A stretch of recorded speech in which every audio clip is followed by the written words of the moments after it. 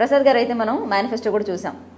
తొలి విడత మేనిఫెస్టో అన్నారు. సో ఆ మేనిఫెస్టోలో ఆల్మోస్ట్ కాపీ క్యాట్ లాగానే ఉన్నాయి. అమ్మ అయితే అసలు అంటే యాజ్ ఇట్ ఈస్ దింపేశారు అనేది మనం చూసాం. అంటే ఏంటి అంటే దాన్ని ఇంకొంచెం బెటర్గా చేసి ఒక స్కీమ్ని కానీ ఒక కొత్త ప్లాన్ని కానీ వాళ్ళు మేనిఫెస్టోలో ఎందుకు చేర్చలేకపోయారంటారు? అంటే ఇంక చేయడానికి ఇంకేమీ లేదా? చేయాలని ఆలోచన ఉండదు. ప్రజలకు చేయాలని ఎప్పుడు చంద్రబాబు నాయుడుకి ఉండదు. హండ్రెడ్ పర్సెంట్ పెద్ద పెద్ద పారిశ్రామికవేత్తలకి వేల కోటీశ్వరుని లక్షల కోట్లు చే- చేసే వాళ్ళని పక్కన పెట్టుకుంటాడు. వాళ్ళని వాళ్ళ మీద ఆలోచన ఉంటుంది కానీ పేద ప్రజల గురించి ఎప్పుడు ఆలోచించదు కాబట్టి పక్క రాష్ట్రాలు అవి ఇవి ఇప్పుడు మనకు చూసాం ఆ రోజు. అన్నీ కూడా పక్క కర్ణాటకలో నుంచి. తెచ్చాడు. వాళ్ళు ఫ్రీ బస్ అంటే అది తెచ్చాడు. గ్యాస్ పక్క రాష్ట్రం నుంచి తెచ్చాడు. ఇవన్నీ ఇక్కడ జగనన్న చేస్తామే ఒకటో రెండో అవే చెప్పాడు. నేను ఎలా నమ్ముతారు? నీకు నమ్మాలంటే ప్రజలు ఎట్లా? ఆ రోజు నుంచి ఇంకా జగన్ గారి గ్రాఫ్ హండ్రెడ్ పర్సెంట్ పెరిగిందమ్మా.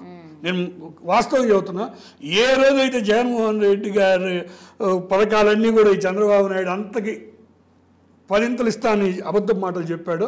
జనాలంతా ఇతను ఇంకా ఇంకా మారలేదు వరస్ట్ అని డిసైడ్ అయిపోయారు. ఆ రోజు నుంచి జగన్ గారి గ్రాఫ్ ఇంకా విపరీతంగా పెరిగింది వాస్తవం అది. ఎందుకంటే ఇప్పుడు నువ్వు జగన్ గారు ఇన్ని పథకాలు ఇస్తున్నారు ఇంత చేస్తున్నారు. అలా చేయటం వల్ల ఈ రాష్ట్రం ఏదో అయిపోతుంది శ్రీలంక అయిపోతుంది అని చెప్పిన వాళ్ళు మళ్ళీ అమ్మటే వాళ్ళు మన స్కోలింగులు అన్నీ కూడా చూసాం చంద్రబాబు నాయుడు అంతకు పదింతలు ఇస్తే ఏమన్నా ఇది ఇంకోటి అయిపోతుందా అని. కరెక్ట్గా ప్రజలందరూ కూడా ఆలోచించారు. చంద్రబాబు వల్ల ఏమీ కాదు వయసు అయిపోయింది వాళ్ళ బాధ ఏం లేదు. ఇప్పుడు నెక్స్ట్ జగన్మోహన్ రెడ్డి గారు వచ్చేది కన్ఫామ్. ఇంకా తెలుగుదేశానికి ఇది ఇంకా వెంటిలేటర్ మీద ఉంది అంతే పరిస్థితి. ఈ ఆరు ఏడు నెలల తర్వాత కనపడే పరిస్థితి లేదు. ఆరేడు నెలలు ఎట్ట బతికించుకోవాలా అని చూస్తా ఉన్నాడు.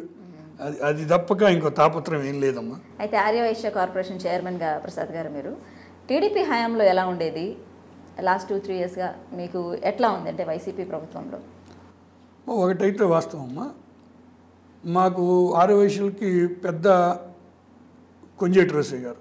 వారు ఈ రాష్ట్రంలో వైశ్యులకి ఎన్నో మేలు చేశారు. ముఖ్యమంత్రిగా గవర్నర్గా మా అందరికి కూడా కొంజేటి రోసయ్య గారు ఆరాధించారు వారు అసెంబ్లీలో మనందరం చూస్తాం చంద్రబాబు నాయుడిని ఎలా చెడుగుడు ఆడుకున్నాడు? ప్రతి విషయంలో కూడా ఏ ముఖ్యమంత్రి ఉన్నా రోసయ్య గారు అసెంబ్లీలో లేచి చంద్రబాబు నాయుడికి రోడ్డు లాగేసే పరిస్థితి. ఎప్పుడు కూడా వయసులు అంటే చంద్రబాబు నాయుడికి ఒక విధమైన ఈర్ష్య కోపం ద్వేషం వయసుల మీద. కేవలం ఆ రోజు కొంజేటి రోసయ్య గారు వారికి ధీటుగా నిలబడి సమాధానం చెప్పటం కానీ అసలు ప్రెస్టేషన్లోనే అయ్యేవాడు. మనం చూసాము రోసయ్య గారు మాట ఎందుకు చంద్రబాబు నాయుడు అంత కోపం నా మీద నీకు? అని రోసయ్య గారు కూడా అంటుంటారు. కేవలం ఆ కోపాన్ని మా వయసుల మీద అందరి మీద రుద్దేశాడు ఇవాళ. ఇక చంద్రబాబు నాయుడు ముఖ్యమంత్రి ఉన్నంత కాలం ఒక్కటి కూడా ఏ రోజు కూడా ఒక్క వైశ్యుడికి న్యాయం చేయాల ఒక్క పదవిలా కాకపోతే ఒకరు ఇద్దరికి వేల కోట్ల పారిశ్రామికవేత్తలకి ఒక వందల కోట్లు తీసుకొని వాళ్ళ పార్టీకి ఖర్చు పెడితే ఒక రెండు పోస్టులు ఇచ్చాడు. ఆ ఇద్దరు కూడా వేల కోట్ల అధిపతులే ఇంకెవ్వరికి పదవులు ఇవ్వ ఇవాళ